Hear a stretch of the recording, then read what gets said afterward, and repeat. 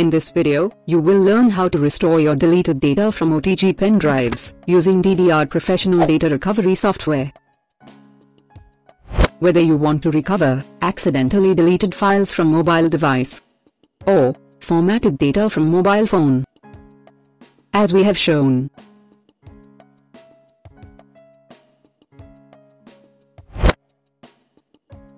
even deleted from your laptop or formatted USB drive data. Now we are going to recover deleted images using DDR data recovery software. Connect your device. Software has four searching modes, basic search, deep search, photo search, and signature search. For testing purpose, we are going to recover images with photo searching mode. Select your USB drive from physical drive, list in the drives tree, and continue recovery. Browse the path where you want to save recovered files, and continue. Recovery is under process.